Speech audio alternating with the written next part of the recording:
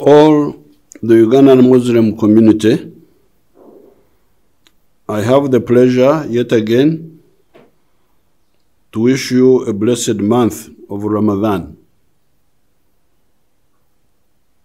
May this month remind you to continue with all good deeds by lending a helping hand to those in need.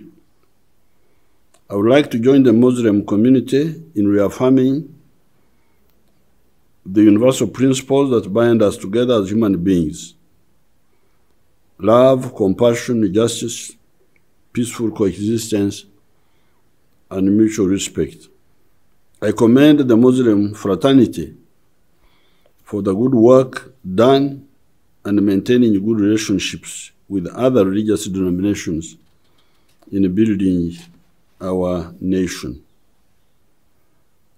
I appeal to you to pray for peace and prosperity of our nation, and I pray that at the end of the month of Ramadan, our prayers and supplications will be granted and rewarded.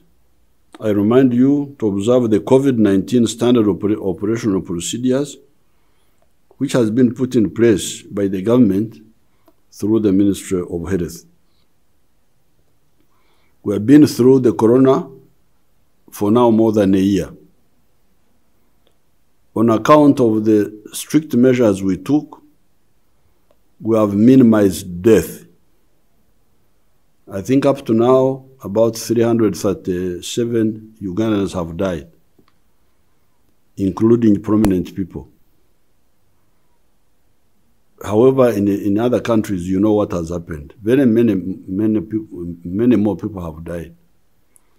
So please, even in this uh, Ramadan, don't relax your guard. Don't gather too many of you because God is in all places. You can pray in the house, you can pray in the mosque, but a few of you, the issue is don't congregate. I thank you and I wish you a happy, a happy fasting season, Ramadan month.